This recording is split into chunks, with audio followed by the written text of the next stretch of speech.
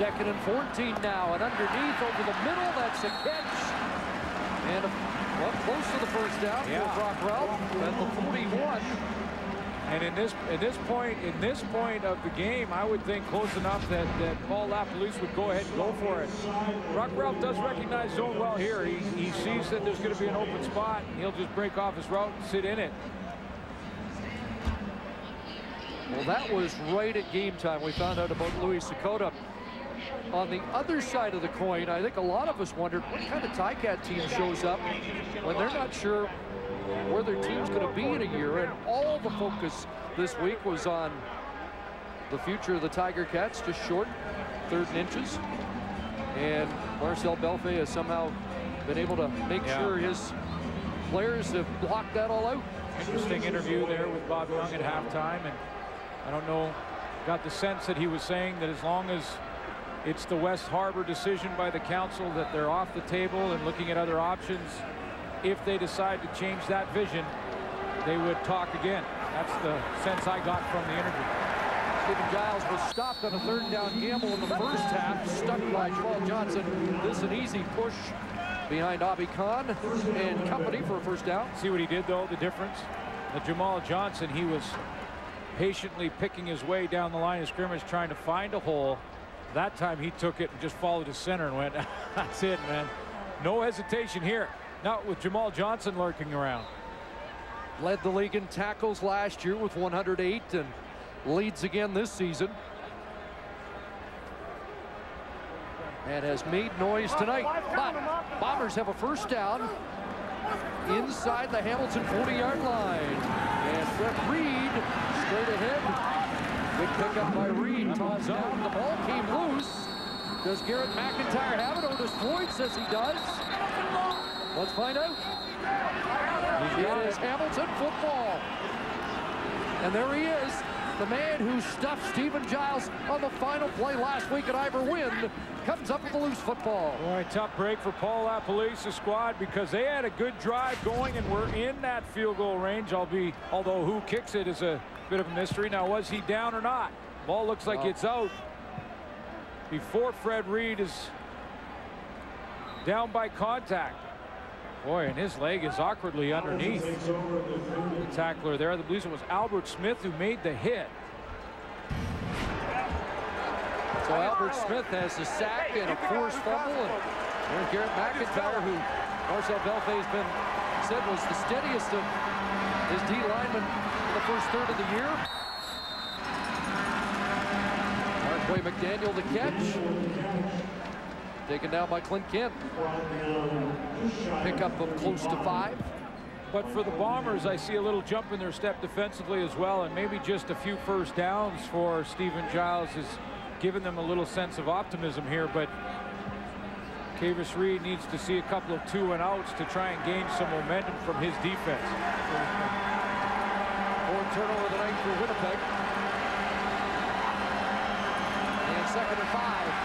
Kevin Glenn over the middle, the crosser. And Marquay McDaniel dropped at the 40-yard line, right at the first down stick. Sixth catch of the night for number six.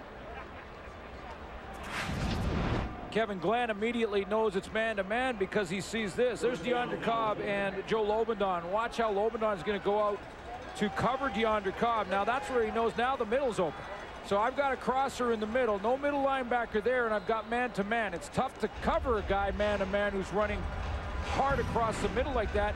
You're always in a chase position. And that's what I'm talking about with Kevin Glenn and his decisions. I mean, he saw that middle linebacker move, knew where to go, bam, big game. 45. Darcy Brown, Chris Bauman check in as tight ends. First and 10, a pump from Glenn who wanted more, and that takes off. And he'll be dropped at the 44-yard line. Short pickup for Kevin Glenn. Bernard Hicks on the tackle. Let's give you another angle of that decision because you know Lamondon's here. He, he's gonna he's gonna vacate, and now Kevin Glenn knows he has that crosser coming from McDaniel's.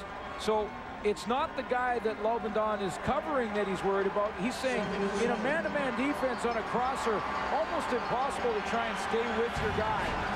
Quick decision, good throw off the read from the middle linebacker. Second and seven. Glenn looking downfield. He's looking deep, and he has a receiver. There's Matt Carter. He's turning into a yes. keeper up there. Yes, he is. Good size. Canadian grad, 6'1", 199, and good speed. And maybe the most enthusiastic touchdown celebration a week ago. Yeah, he was pretty pumped, wasn't he, get his first. Another double move, too, that fools the Winnipeg Blue Bomber. They are jumping the first cut and the first move. Kevin Glenn, patience, has time to throw and drops it in there, right over the right shoulder. Kevin Glenn with a 34-yard pickup to Matt Carter in the first down. Glenn steps up again and takes off. How do you escape that? And slides down at the 20. Another first down for Kevin Glenn, who we don't see run much, but he's shown some escapability tonight. Yeah, he has, because I thought he the pocket had collapsed around him here. I mean, I was gonna about to talk about how that was really the first good aggressive pass rush by the Bombers.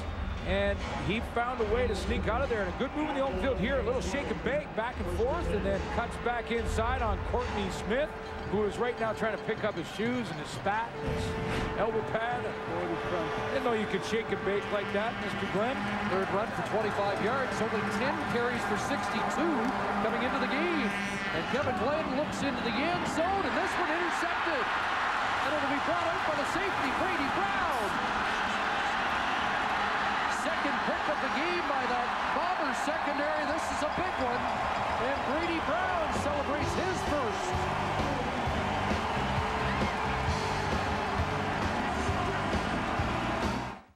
Shop at Safeway.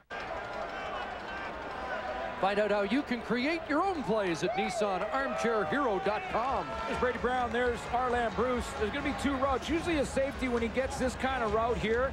He stays in the middle, but watch how Brady Browne is going to favor the guy who has 27 catches, 469 in the last two games. He's saying, forget about that middle seam.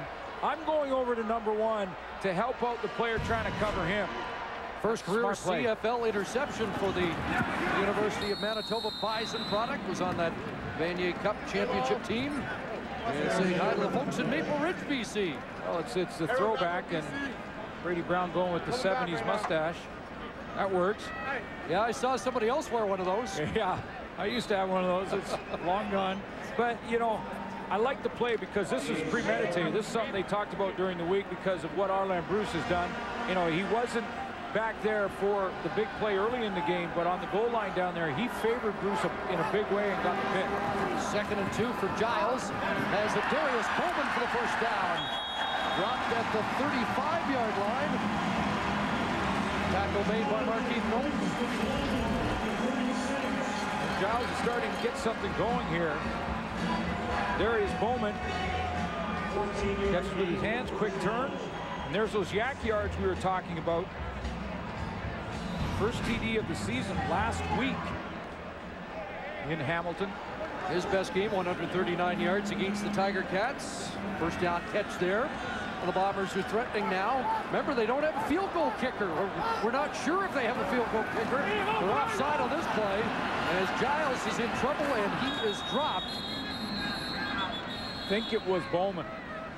There is Bowman just looked like he took a half a step prior to the snap, and I'm not sure if he saw a defensive lineman move possibly, but yeah, he, well, there you go. There's your answer. Markeith Knowlton made the tackle again. Otis Floyd will survey. Do they take the penalty or take the play and decline?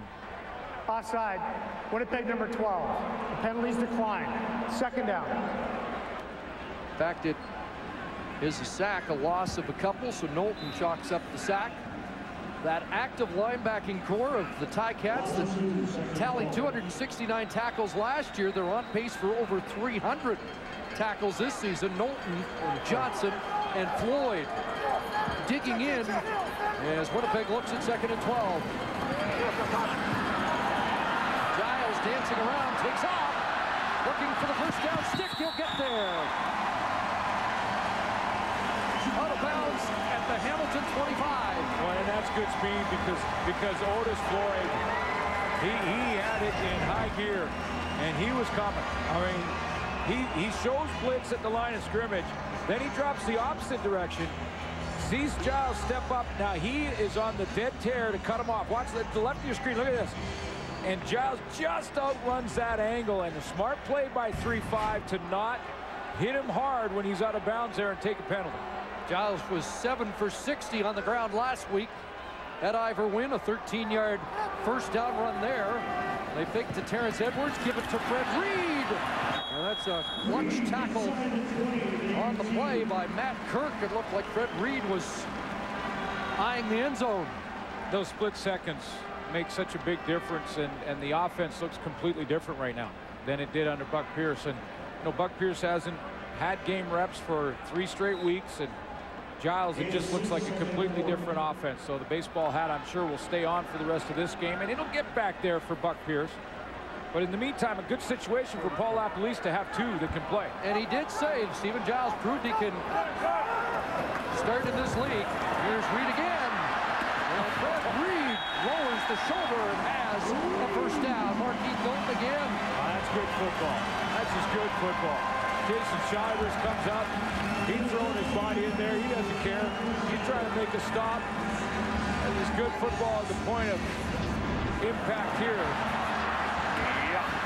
I love that. Good on Fred Reed. Just lower his shoulder. He's not a big guy, but he saw the hits coming and lowered his shoulder and got the first down. 46 yards on the night for Fred Reed. And a bomber first down. Davis, the former cat. Unable to turn the corner. 25's all over the field for Hamilton. Yeah, he is, and so is Floyd. And you know, but this is what the offense for the Bombers are making them do. They're making them go sideline to sideline, and that's going to pay off as the game goes on. And it's tough to to gather yourself after having to chase down these running backs and receivers from 65 yards to the left, 65 yards back to the right. Then you have to go and line up in 20 seconds, try and catch your breath, and run with them again. So a three-yard gain for Davis. Second and seven. Bobby Khan barks out the signals from center. And Jyles to fade into the end zone. Bowman, touchdown! Second in as many games for Darius Bowman. The Bombers close the gap and score seven off the turnover. The interception by Brady Browne. A nice throw by Jyles to leave it outside and let Bowman go and get it. And it looked like Jeff Tisdale at the end the play timed his jump poorly. A little premature here. He goes up right now to try and get it. The ball's not quite there, and it drops right in the hands of Darius Bowman. That's a perfect throw. Fifth touchdown pass of the year for Steven Jyles. Mike Renaud with his second convert in relief duty. Bombers close the gap.